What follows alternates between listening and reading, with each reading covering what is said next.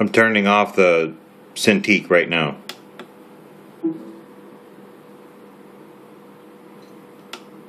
Turning it back on.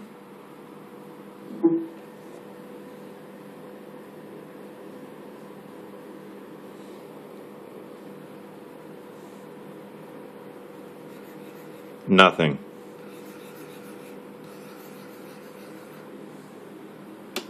Turning it off.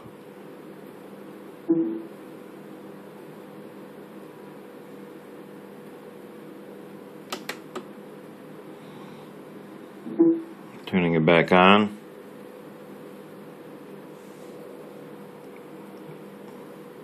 Mouse is still not synced.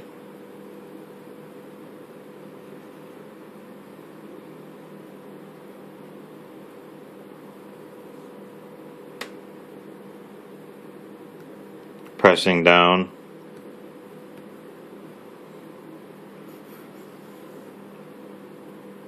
Shows up on the other monitor.